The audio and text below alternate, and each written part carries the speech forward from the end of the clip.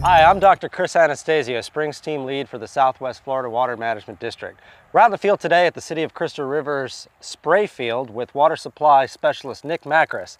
Nick, you just completed a very important project here that will benefit not only the spring shed, but also Kings Bay right here in Crystal River. That's right, Chris. We just completed construction of infrastructure that will allow the City of Crystal River to pump 100% of their reclaimed water to the Duke Energy power generation complex located approximately seven miles to the west of here.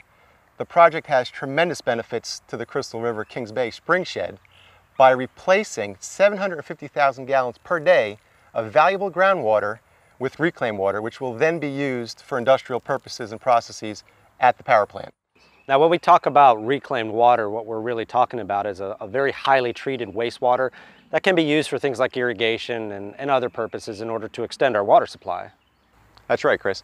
This, this project will also improve and benefit water quality by reducing the amount of nutrients such as nitrogen and phosphorus entering our spring shed by eliminating the wastewater that was previously discharged here at the spray field.